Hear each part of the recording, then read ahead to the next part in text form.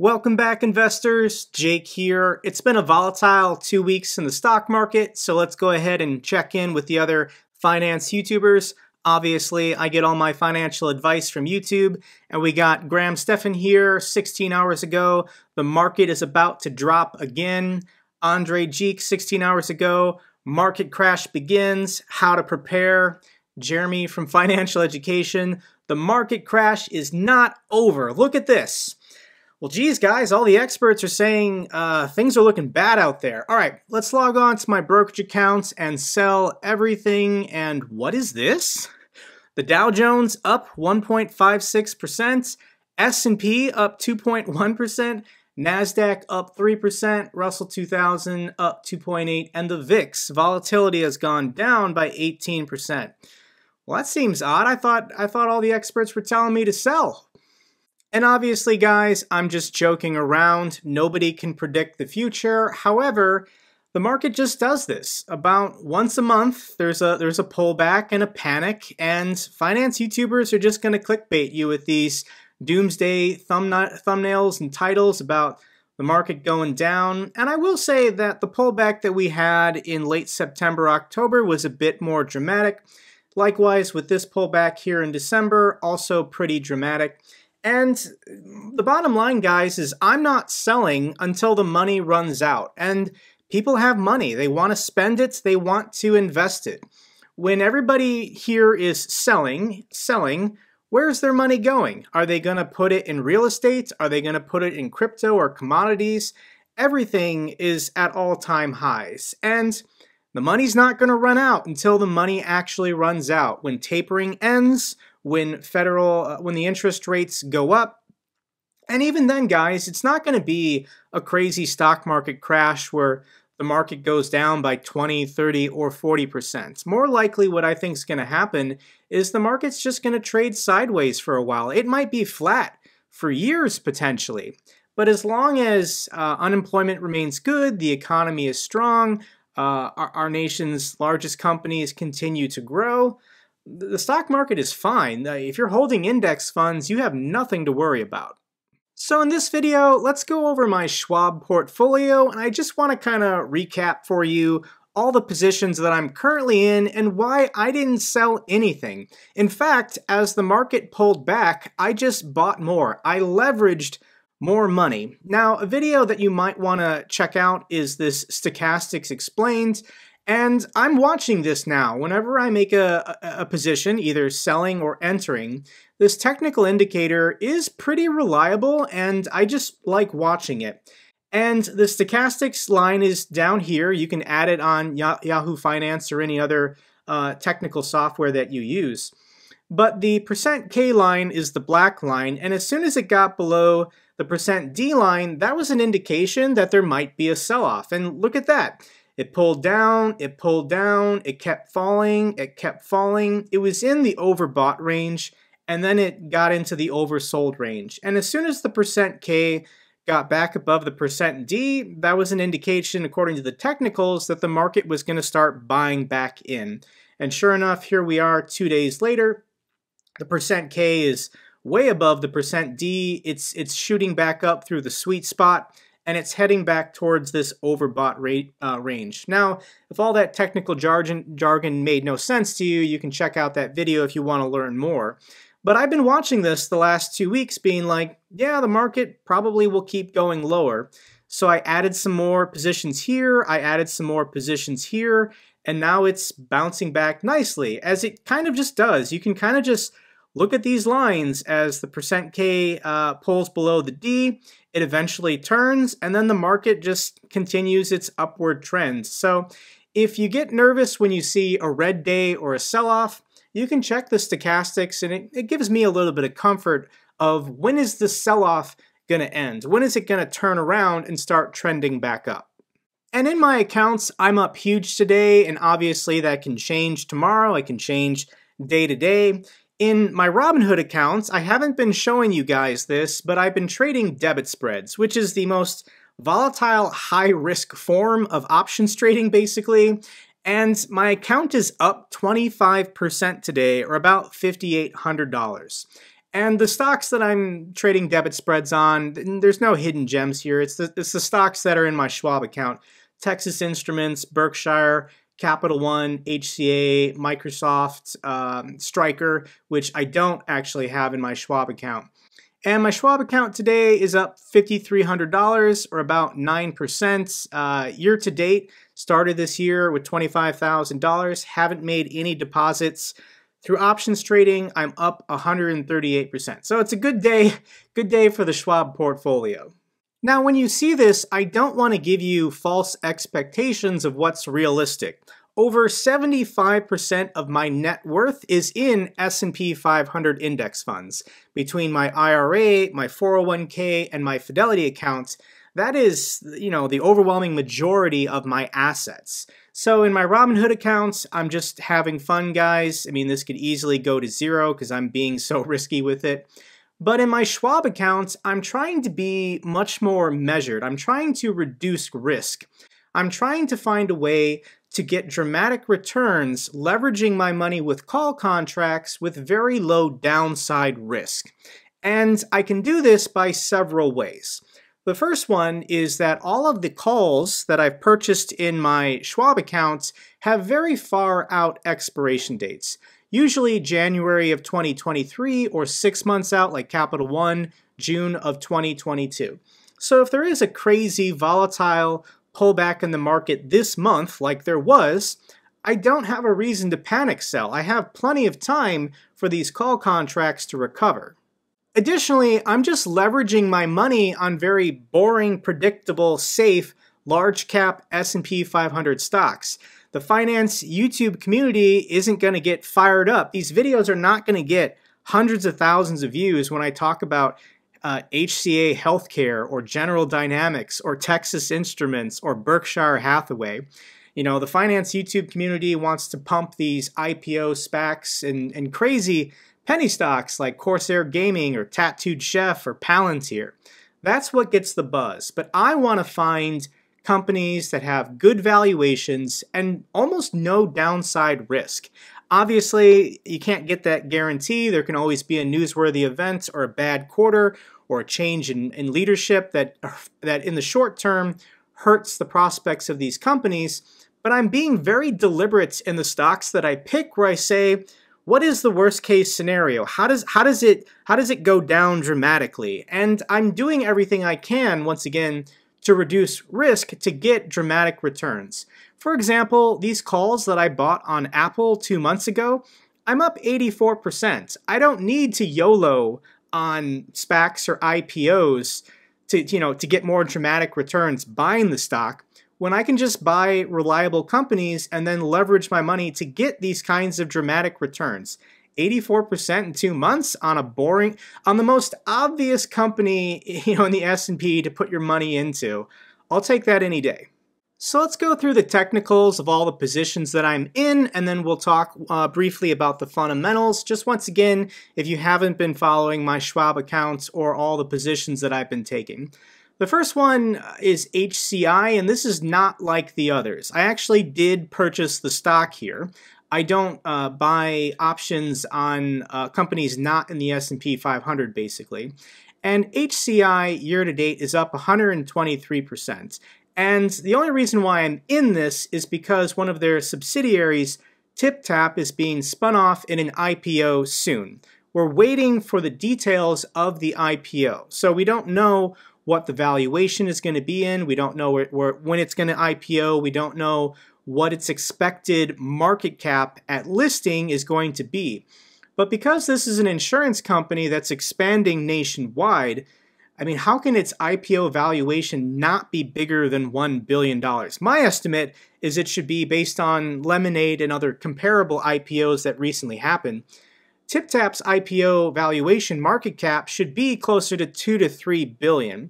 So if TypTap alone is going to be worth 2 to 3 billion, and TypTap is already included in the valuation of HCI, and HCI's valuation right now is only 1.1. There's a horrible mismatch in pricing here. So we just need to get the details of this IPO.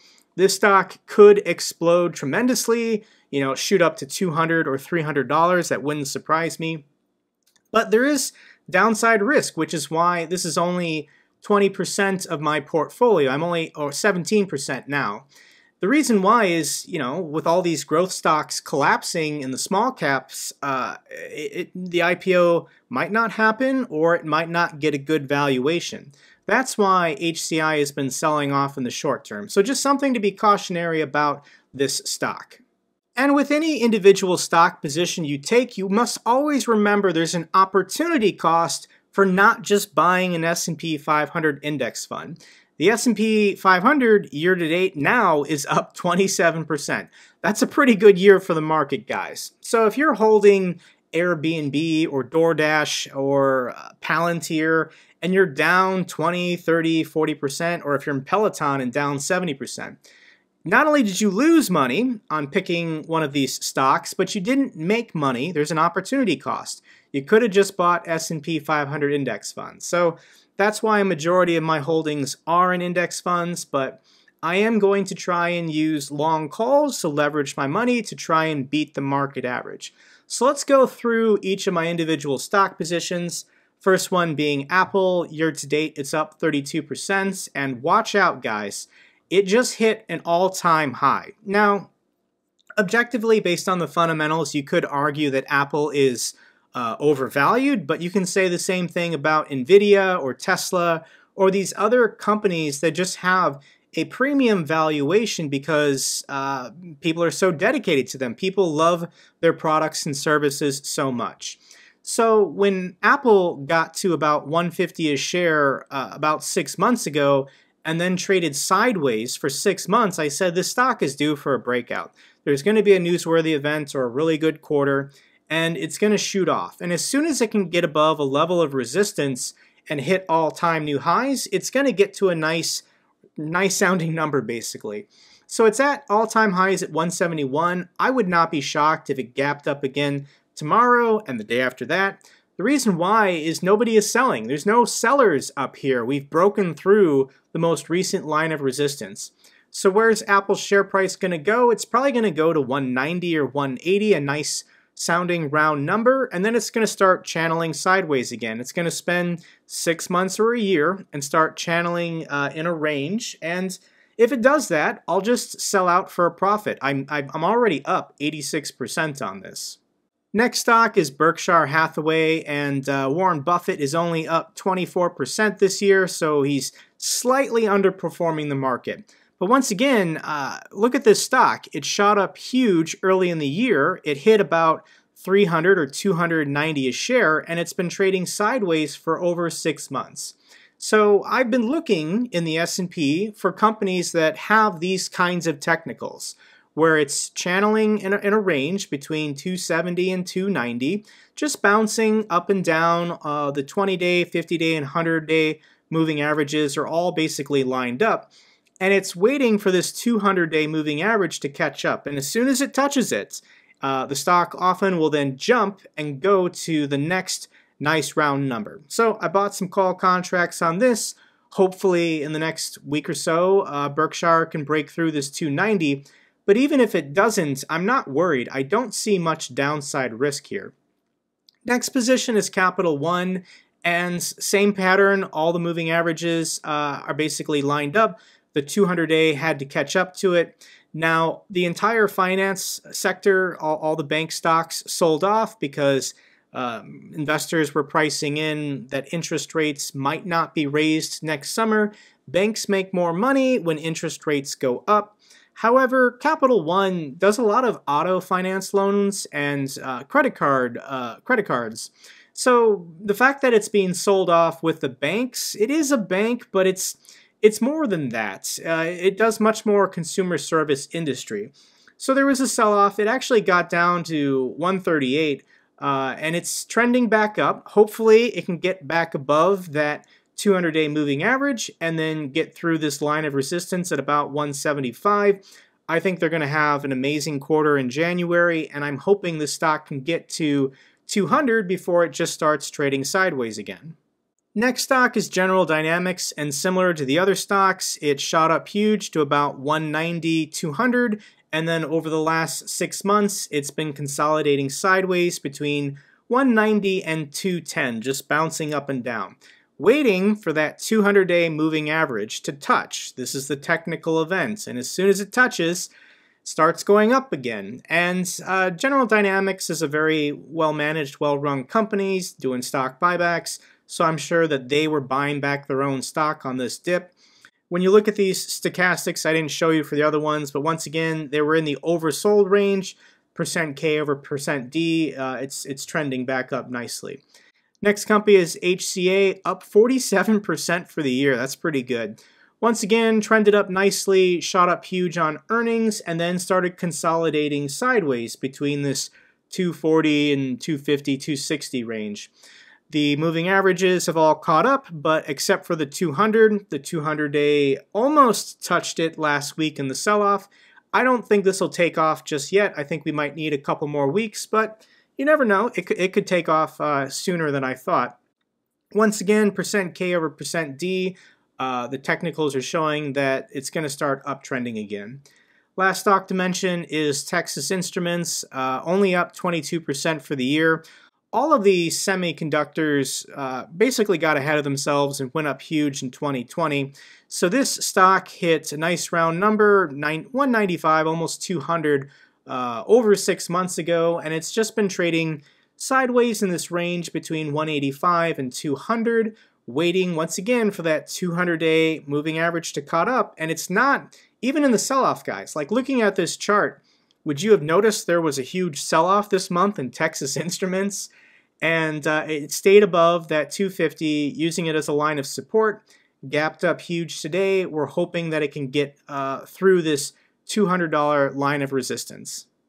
Okay, that was a lot of technicals that I just threw at you in a short amount of time. I basically condensed eight or nine videos into this one summary video. People like these kind of portfolio recaps of all the positions. If you guys like this video, give me a thumbs up to help with the algorithm. Subscribe if you haven't already. And let's just go now through the one-page summary, the one-screen summary of the fundamentals of these six positions. We're not talking about HCI because their fundamentals don't make any sense. The price to earnings of HCI is, is like 140. So obviously you're pricing in the future growth of TypTap once this insurance company uh, expands beyond the six states they're in now to go national. So let's focus on these six and why do I buy long calls on these six companies? And there's lots of things you can look at like gross margin or uh, debt levels. Obviously, there's some red flags with some companies that give them higher risk and lower valuations, but basically you can just look at revenue growth, income, net income growth, does it offer a dividend? Uh, are, is the share count uh, being reduced? And then what is its price to earnings, price to sales, and maybe price to book value or price to free cash flow? So revenue growth on the income statement is the top line. That's where that expression comes from. What is your top line? And net income on the income statement is the bottom line. What is the bottom line of this company?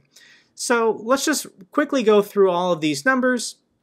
With Apple, their revenue growth year over year, so from third quarter last year to third quarter this year, up 28%. That is that is phenomenal for a company of its size. Obviously, this is a global actor. It's you know, Apple's more powerful than most governments in the world, and you know they're selling MacBook Pros and iPhones in like 180 languages or something. General Dynamics, much slower growth. This is a company that uh, you know survives off government contracts. It's a defense contractor. However, their income is pretty predictable and pretty stable. I don't see world peace being achieved anytime soon, and the defense budget only goes up over time. So even though this is a very small number, General Dynamics, uh, I, I, still think in the long term is a safe place to put your money. Texas Instruments up 21%, pretty pretty good for a uh, semiconductor stock. Capital One only up 2.1%. And you got to remember that interest rates last year uh, were dropped to basically zero, and financial stocks can't make as much money when interest rates go down. We'll talk more about this revenue growth in a second. Berkshire Hathaway, uh, you know, Warren Buffett being boring, only up 11%, and then HCA Healthcare up 14%. Everyone knows you need revenue growth. This is this is obvious. So with income, net income, I want it to be positive. I don't care how much, but it needs to be positive every quarter. Can this company turn a profit? And Apple up 62%. This is uh, insane. General Dynamics only up a little bit, uh, but this is a deceptive number. With all of these numbers, uh, they all had positive net income, but they didn't all have positive net income growth year over year. Because with net income, with depreciation and um, writing off uh, certain assets, you can fudge the numbers. So, for example, Berkshire was down 65%. They weren't negative, they were just down year over year from third quarter last year to third quarter this year. So they were still positive by billions of dollars. It just wasn't as much as third quarter last year.